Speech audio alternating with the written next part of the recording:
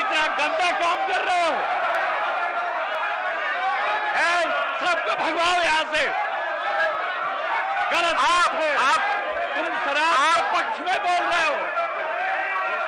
अब तो बिल्कुल बर्दाश्त नहीं किया जाए मानिए सदस्य अपने अपने स्थान पर आप बैठे देख लो क्या हो गया?